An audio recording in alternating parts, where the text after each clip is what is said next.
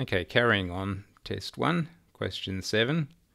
Uh, suppose that a jacket with a surface area of one square metre is made from a material with a thermal conductivity of 0.02 watts per metre per degree Kelvin. How thick should the material be in order to slow heat loss via conduction from the wearer to 100 watts if the air temperature is 0 degrees C and we're going to assume that the person's skin temperature is 34. So there's some formula, I forget how it goes, but basically it says power is going to be equal to, it's going to be proportional to the area, it's going to be proportional to the conductivity, whatever symbol we use for that. I'll find the formula. I forget the, for the symbol. So, boom, boom, boom, K. K we use. A times K the thermal conductivity, times the temperature. Okay, they're all the things that make it go um, faster. And then we need to divide by the thickness. The thicker it is, the less heat will flow. And yep, that looks like about right. So in our case, we have, we want to find D, the thickness, okay? So rearranging, we have D is equal to a k delta t over p, the power, and the area is 1, k is 0.02 times delta t is 34 divided by the power is 100 and there you go. 0.02 times 34 divide 100 equals and we get 0.0068 meters, which is 6.8 millimeters. Okay. Nice.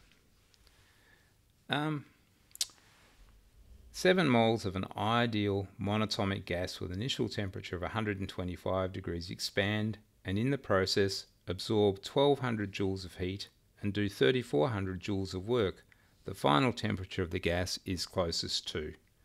Well, basically we have our change of internal energy is going to be 1200 joules of heat that are absorbed, take away the 3400 joules of work done. Okay, so that is minus, mm, I hate myself, I can't do these calculations in my head, 2200 joules. So our gas loses 2200 joules of internal energy. So it's going to be colder than it was before. So it started at 125. Well, it can't be 130 and it can't be 140. It's got to be one of these cooler temperatures. And I go to the formula sheet and I go, the internal energy of an ideal monatomic gas is 3 halves nRT. So therefore, we have that 2200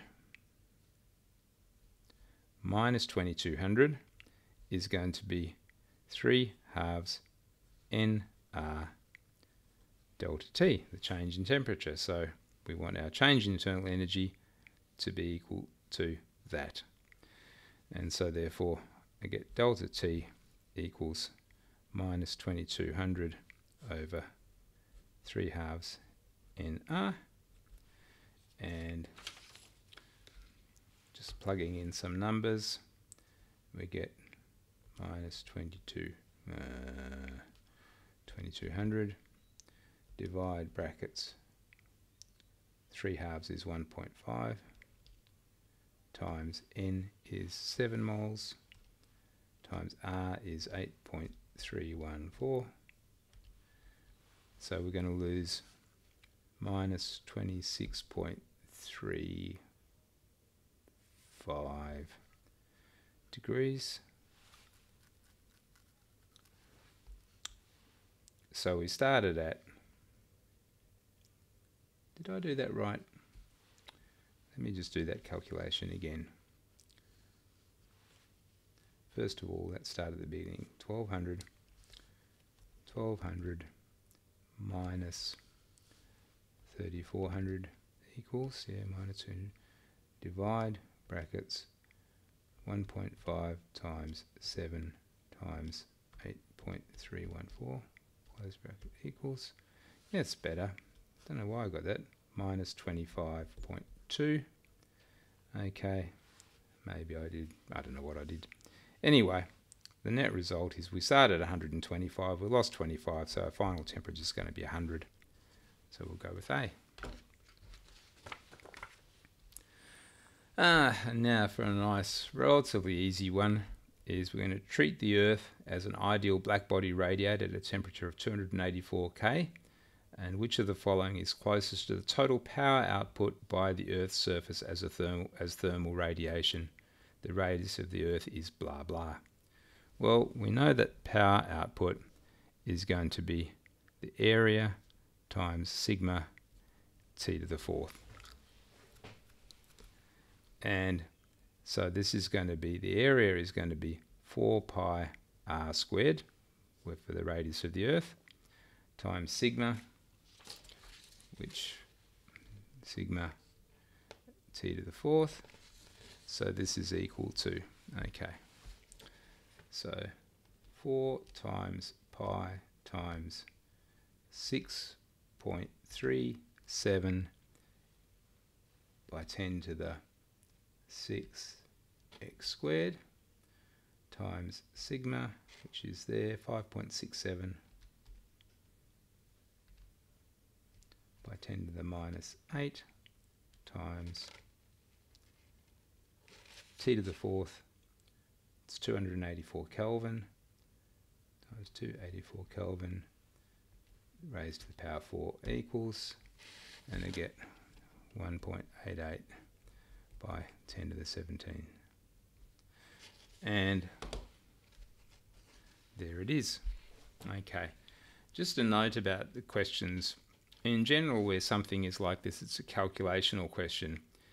If you make a mistake, we try not to put the obvious dumb answer in. So if you forgot to put t to the fourth and just put t in, you get a different answer. And hopefully that answer is not here. Okay?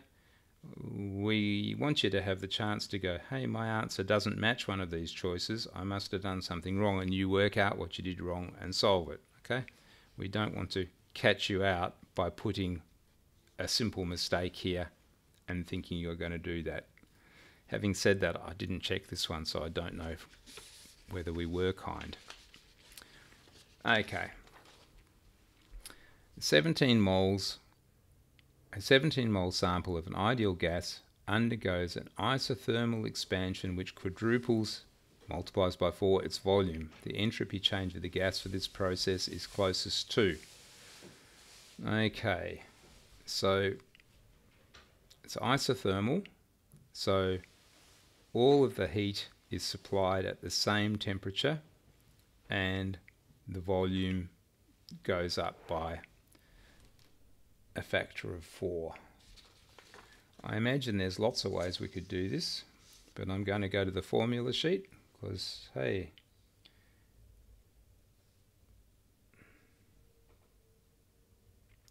hmm.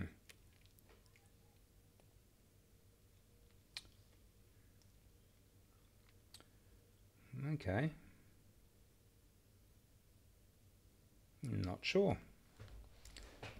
This one looks promising, but I have to do some work.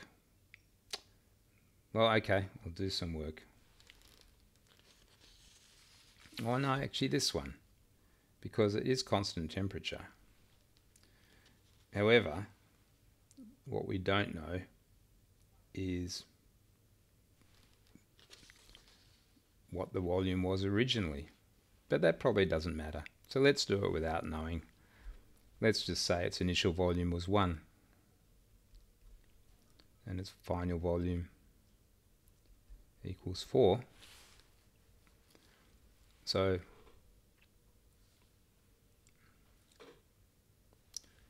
Q, the heat added, is 17 moles times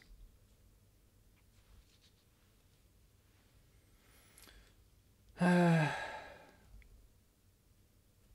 3 halves.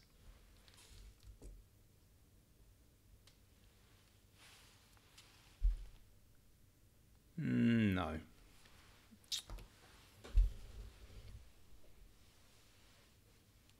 Not happy. I will come back to it because I obviously need to think about this for a second. So I'll stop there.